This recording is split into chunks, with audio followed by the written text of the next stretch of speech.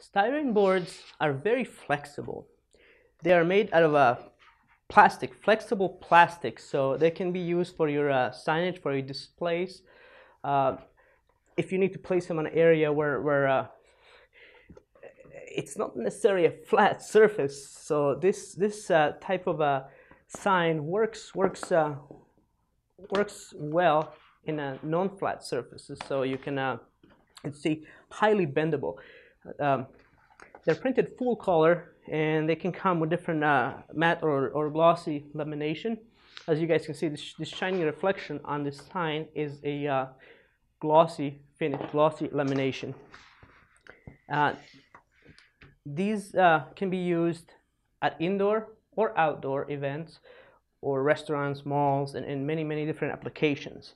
Uh, this uh, one thing about this sign is uh, because it is so bendable, it's not it's not shipped flat.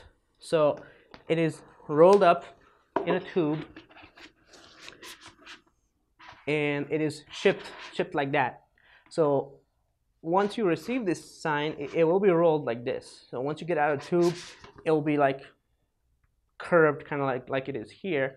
Uh, one way to to flatten that is just straight, straighten the sign out and then just leave it on the table in a room temperature weather for a few hours or overnight and it'll, it'll just uh, even out for, for the most part.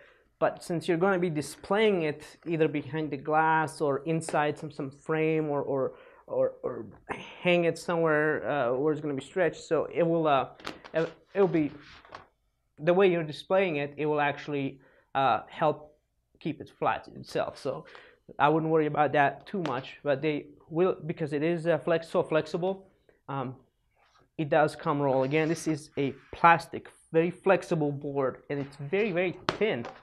Let me show you guys, so you can see it's, it's very thin. It's thinner uh, than a coin, than a, probably than a, than a, than a dime. Uh, it's very, it's about that thickness.